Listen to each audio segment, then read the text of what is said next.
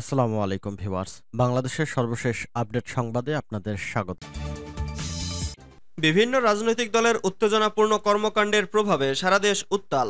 জানিয়ে দেব হাতে থাকা সর্বশেষ আপডেট বাংলা সংবাদ। প্রথমেই সংবাদ শিরোনাম। চীনের উদ্দেশ্যে ঢাকা ছেড়েছেন প্রধানমন্ত্রী। এরপর জানিয়ে দিব, ছয় দিনের ব্যবধানে আবারও হাসপাতালে খালেদা জিয়া। এদিকে, শাসক গোষ্ঠী আরও বেসামাল হয়ে উঠেছে বলেছেন মির্জা ফখরুল। আরও জানিয়ে দিব, টেকনাফ সীমান্তে মর্টার শেল বিস্ফোরণে রোহিঙ্গা যুবক নিহত। সর্বশেষ জানিয়ে দিব, সরকারি খরচে বিদেশ ভ্রমণ ও যানবাহন ক্রয়ে নিষেধাজ্ঞা। এতক্ষণ শুনছিলেন সংবাদ শিরোনাম, এবারে বিস্তারিত। তবে অনুরোধ থাকবে, ভিডিওটিতে একটি লাইক করবেন এবং কমেন্ট করে জানিয়ে দিবেন কোন জেলা থেকে আপনি আমাদের এই ভিডিওটি দেখছেন। চীনের উদ্দেশ্যে ঢাকা ছেড়েছেন প্রধানমন্ত্রী। চার দিনের সফরে চীনের উদ্দেশ্যে ঢাকা ছেড়েছেন প্রধানমন্ত্রী শেখ হাসিনা। সোমবার আট জুলাই বেলা এগারোটায় বিমান বাংলাদেশ এয়ারলাইন্সের একটি ফ্লাইট প্রধানমন্ত্রী ও তার সফর সঙ্গীদের নিয়ে হজরত শাহজালাল আন্তর্জাতিক বিমানবন্দর ত্যাগ করে।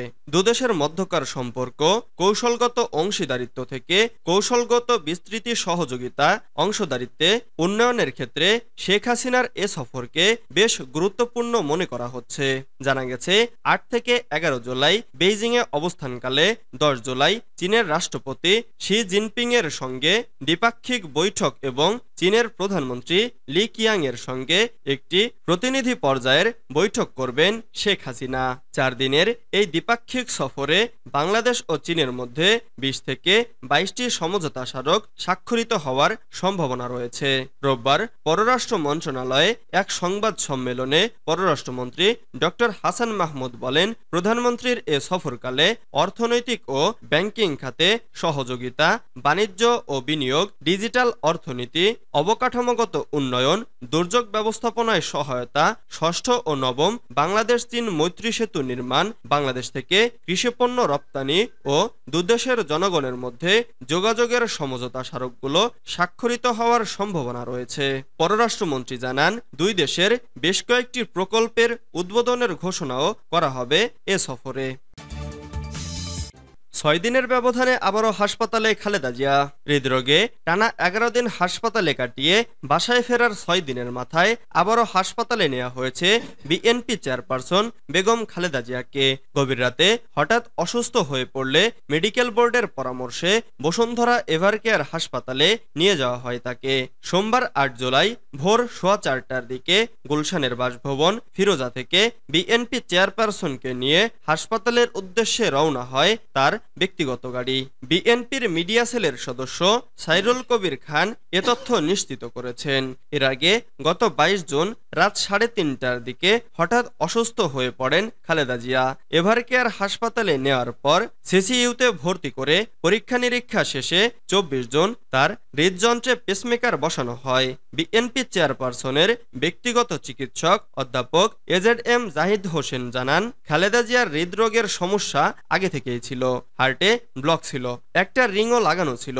সবকিছু পর্যালোচনা করে মেডিকেল বোর্ড তার হার্টে পেসমেকার বসানোর সিদ্ধান্ত নেয়। হৃদযন্ত্রে পেসমেকার বসানোর পর অবস্থার উন্নতি হলে নয় দিন পর দুই জুলাই বিকেলে বেগম খালেদা জিয়াকে বাসায় নিয়ে আসা হয়। প্রসঙ্গত, ডায়াবেটিস, আর্থারাইটিস এবং হৃদরোগ ছাড়াও ফুসফুস, লিভার ও কিডনি সংক্রান্ত বিভিন্ন জটিল রোগে দীর্ঘদিন ধরে ভুগছেন বিএনপি চেয়ারপারসন খালেদা জিয়া। দুই হাজার একুশ সালের এপ্রিলে কোভিডে আক্রান্ত হওয়ার পর থেকে বেশ কয়েকবার অসুস্থতা নিয়ে হাসপাতালে চিকিৎসা নিতে হয়েছে তাকে ইদানিং তার শারীরিক অবস্থার ঘন ঘন পরিবর্তন ঘটছে। শাসক গোষ্ঠী আরও বেসামাল হয়ে উঠেছে বলেছেন মির্জা ফখরুল। ক্ষমতাসীন আওয়ামী লীগ আরও বেসামাল ও জুলুমবাজ হয়ে উঠেছে বলে মন্তব্য করেছেন বিএনপির মহাসচিব মির্জা ফখরুল ইসলাম আলমগীর। তিনি বলেন, জনভিত্তি নেই বলেই সাত জানুয়ারি প্রহসনের নির্বাচনের মাধ্যমে ক্ষমতা দখল করে আওয়ামী লীগ শাসক গোষ্ঠী। এখন আরও বেশি বেসামাল ও জুলুমবাজ হয়ে উঠেছে। কর্তৃত্ববাদী শাসনের দ্বারা রাষ্ট্র ক্ষমতা আঁকড়ে রাখতে বিএনপি এবং তার অঙ্গ সহযোগী সংগঠন সহ বিরোধী দলের নেতাকর্মীদের ওপর তীব্র মাত্রায় দমনপীড়ন শুরু করেছে।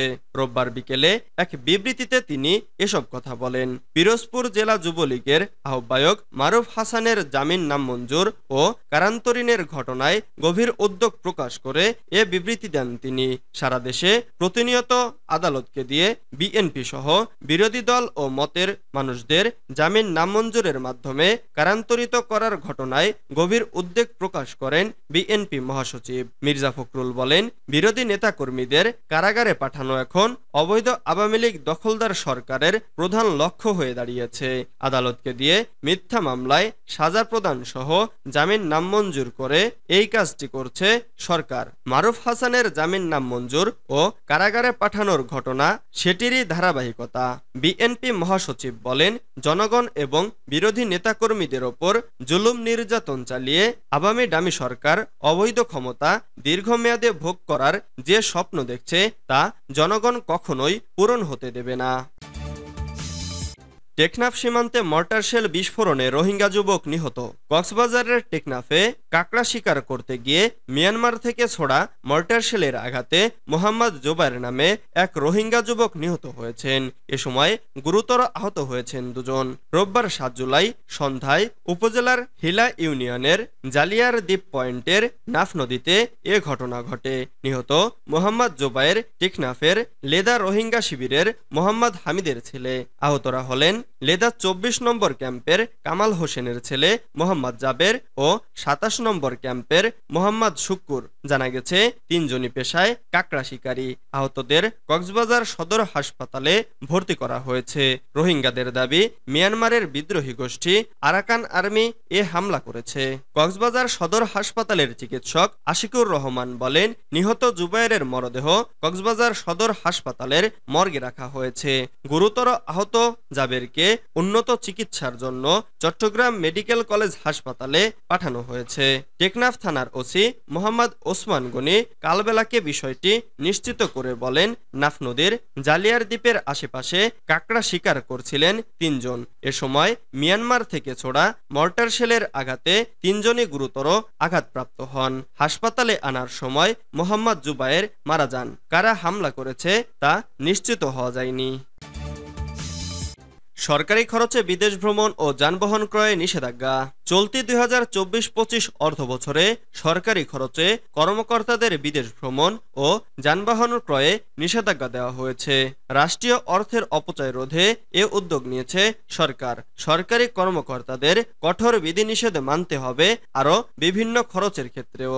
সম্প্রতি অর্থ মন্ত্রণালয়ের অর্থ বিভাগের বাজেট অনুবিভাগ এক এর উপসচিব মোহাম্মদ হেলাল উদ্দিন স্বাক্ষরিত পরিপত্রে এ তথ্য জানানো হয়। পরিপত্রে জানানো হয় বর্তমান বৈশ্বিক অর্থনৈতিক অবস্থার প্রেক্ষাপটে সরকারি ব্যয় কমাতে দুই হাজার চব্বিশ পঁচিশ অর্থ বছরে সব মন্ত্রণালয়, বিভাগ অন্যান্য প্রতিষ্ঠান এবং আওতাধীন অধিদপ্তর, পরিদপ্তর, দপ্তর, স্বায়ত্তশাসিত সংস্থা, পাবলিক সেক্টর কর্পোরেশন এবং রাষ্ট্রীয় মালিকানাধীন কোম্পানিগুলোর পরিচালন ও উন্নয়ন বাজেটে কতিপয় খাতে বরাদ্দকৃত অর্থ ব্যয়ে সরকার কিছু সিদ্ধান্ত গ্রহণ করেছে। এতে জানানো হয়, সব ধরনের থোক বরাদ্দ থেকে ব্যয় বন্ধ থাকবে। এছাড়া বিদ্যুৎ, পেট্রোল অয়েল ও লুব্রিকেন্ট এবং গ্যাস ও জ্বালানি খাতে বরাদ্দকৃত অর্থের সর্বোচ্চ আশি শতাংশ ব্যয় করা যাবে। পরিচালন বাজেটের আওতায় শিক্ষা, স্বাস্থ্য ও কৃষি মন্ত্রণালয় সংশ্লিষ্ট স্থাপনা ছাড়া নতুন আবাসিক, অনাবাসিক বা অন্যান্য ভবন স্থাপনা নির্মাণ বন্ধ থাকবে। চলমান নির্মাণ কাজ ন্যূনতম সত্তর শতাংশ সম্পন্ন হয়ে থাকলে অর্থ বিভাগের অনুমোদন নিয়ে ব্যয় করা যাবে।